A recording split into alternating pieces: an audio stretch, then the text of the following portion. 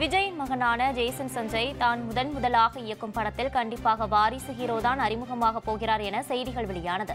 ஷங்கர் மகன் கவின் துல்கர் சல்மான் விஜய் சேதுபதி போன்றவர்கள் நடிக்க இருப்பதாக அடுத்தடுத்த செய்திகள் வெளியாகின. ஆனால் தற்போது ஜேசன் சஞ்சய் தனுஷ் இயக்கி நடித்த ராயன் படத்தின் அவருடைய தம்பியாக நடித்த சந்தீப் கிஷன் தான் ஹீரோவாக தேர்வாகியுள்ளார். இதில் சஞ்சய் தமிழ் ஹீரோவை தேர்ந்தெடுக்காதது வருத்தமாக இருப்பதாக நெட்டிசன்கள் தெரிவித்தனர்.